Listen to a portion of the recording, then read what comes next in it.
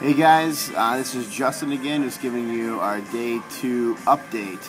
Um, here's a little bit of what some of our students said about um, today and yesterday, a little bit uh, with what they're learning and kind of what God is teaching them. Well, this this week we're working at Marklund, and it's just such a fascinating experience to work with these people. It's a group that not many people experience, not many people get to work with, and we're just blessed to see that. Uh, I'm definitely learning a lot this week about just uh, leadership, camaraderie, all that stuff, all that good stuff. I mean, I'm here with a great group of people, and I wouldn't trade for the world. All right, something this week that I've learned or experienced is people at Marklund are remarkably intelligent and extremely nice to people. Like, there's a certain client that he always lifts other people up. He always wants them to be happy.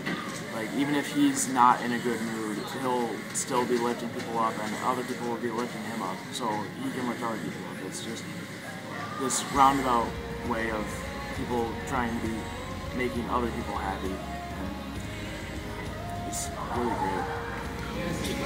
Yesterday in my morning devotional, I learned that as Christians, we are not of this world because Christ is not of this world, and we were saved through his blood, which makes us not of this world. And when Paul went to Ephesus to speak to the people, he didn't speak to them right away. He learned about their culture and about their religions before spoke to them about the gospel. So he got to know where they're coming from and what they're about.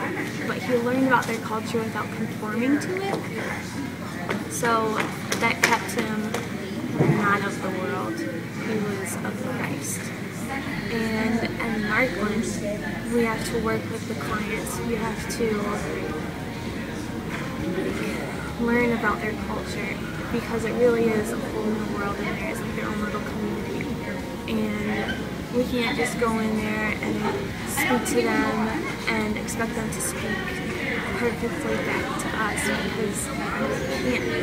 So we have to learn how to be flexible with that and how to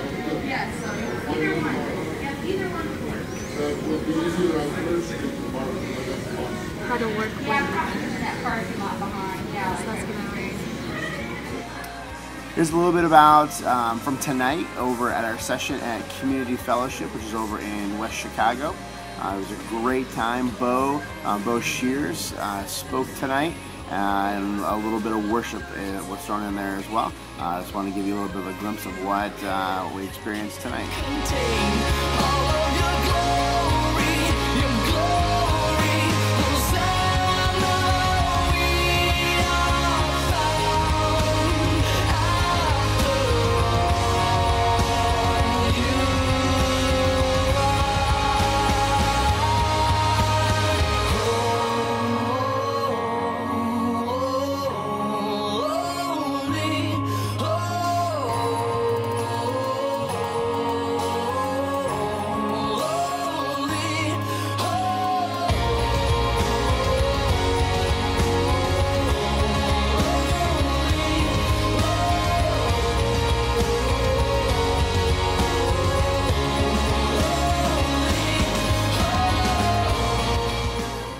Again, remember we're using our Facebook page as an opportunity for you to um, find out what's going on in our Chicago trip.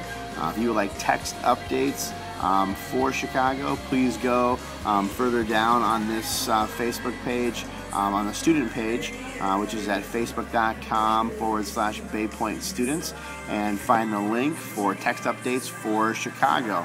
Um, otherwise, tomorrow we have a free day, and uh, we're going to be heading down into Chicago, hitting up Michigan Avenue, eating some Chicago pizza, having a Chicago hot dog, um, just having a good time. So, uh, if you uh, want to send a message out to one of your students, um, post it right here on the Bay Pointe Students Facebook page, and we'll be sure to get it to them. Catch you guys later.